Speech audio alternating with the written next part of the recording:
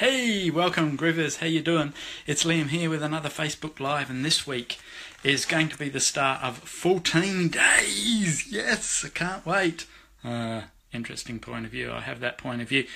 When I said that I can't wait, I just went into a predictive reality of having to do a Facebook Live every day for 14 days, and I went, oh my god, I really don't want to do that. How many of you guys are in that position where you like go, yeah, I'm going to do this, and then, oh, this thought, this idea comes up. I don't, really don't want to do that. And that's when you can use interesting point of view. And it's exactly what I did. Interesting point of view, I had that point of view. Hi, everybody that's just joined. Um, that uh, I just had that point of view that I don't want to do this for 14 days. So, how do we use interesting point of view? Well, there's going to be a few people uh, on this uh, on this first one, so I'm just going to go through some basics of the tool interesting point of view. It's a tool from Gary Douglas from Access Consciousness. And one of the cool things about this is you don't need to know how it works. All you need to know that it works. And the more that you practice it or engage in it or use it to your advantage to create more ease and joy in your life, the more it becomes part of you and you start to lower your barriers and start to see uh, uh, points of view from uh, everybody's points of view without any charge. And this is what interesting point of view is all about. It's about getting to that space of total allowance of your point of view and everybody else's point of view without having to defend your point of view or defend against another point of view. Hi Lucia.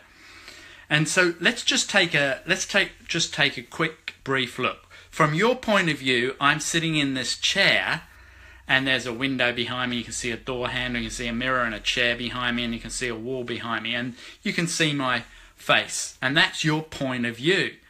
But we all know that if you were somewhere else in the room, there would be a totally different point of view. So if if we uh, turn around this way, we get to see the Japanese style uh, room dividers. We get to see a couple of pictures.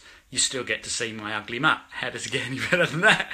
And if we put it over here, you're now upside down and you can see the back of my head. That's another interesting point of view.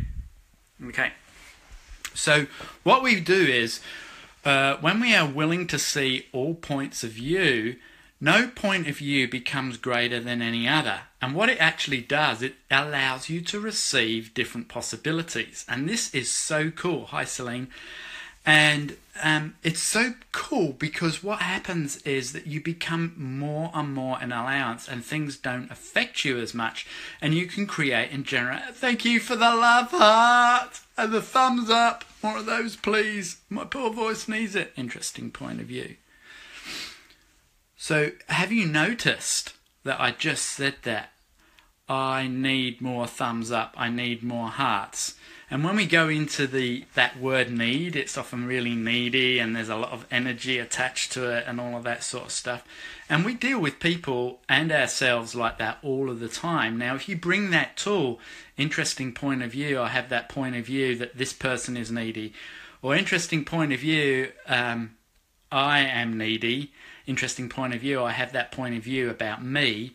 What you'll start to do is you'll start to have different points of view, and you go, oh, well, really, is that really my neediness? Is that somebody else's neediness? And you'll start to be able to become more in allowance of every point of view that is on the frigging planet. Um, now, that's basically how the tool works.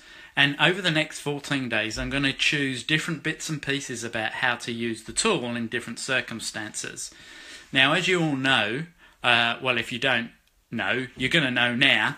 I've just created this club called the 100k Club. And what it's designed to do is to create an extra $100,000 in your reality within 60 to 90 days. And I've been doing. We're gonna we're gonna actually start that in about a week's time. But um, I've been doing some research, and uh, I went onto the Access website. Uh, hey, yeah, how does it get any better than this? And I found a really great article there from Simone Milasas about um, budgeting. And it's um, an article that was on Huffing, Huffington Post, and they and so I went to the URL, checked it out, read the article, but there was also a video there called Money, and oh my god, it was so interesting because it was all about facts and figures. And every no, well not every, but uh, that's an interesting point of view. Nearly all of them, say let's say 80 to 90% of them were just an interesting point of view. And I'm going to use this one particular one. It said that 58% of all millionaires um, started when they were 15. Now, if you're 50 and you ain't got a million dollars yet, uh, what that means is we often come to a conclusion that, uh, oh my God, I missed the boat. But if we look at it from an interesting point of view, you can see a different point of view. If 53% uh, started when they were 15, that means there were 47% other millionaires that started at some other age. Now, that could have been earlier and it can be a lot later. And if you look at uh, Kentucky Fried Chicken, you know, the Colonel, he didn't make his first million until he was 83 years old. So, um, it's all an interesting point of view. How many of you guys, when you see a fact or a figure or something that is touted as true and buy it as real, so you can't actually step in to the potency and power you truly be because you've bought the point of view that you have to have started creating your million dollars when you were 15. Now, that's a time to use interesting point of view. Interesting point of view. Interesting point of view. Interesting point of view. If you can get it out three or four times in your head, what actually happens is that you start to um, lose the charge around like the conclusion that oh there's no way I can ever do it because now I'm 50 and you know like I've lost all that time and I'm getting older now and I haven't got as much energy and conclusion conclusion conclusion. Interesting point of view will start to cut off that conclusionary reality. How many of you come on own up. How many of you are conclusion kings or queens? Put your hand up I'm not one, of course. Um, that's my alter ego that's saying yes, because I'm not one really. Yeah, how many of you are actually conclusion kings or queens? If you are, if you go into that sort of like, this means that, you're a conclusionist. Now, there's nothing wrong with it.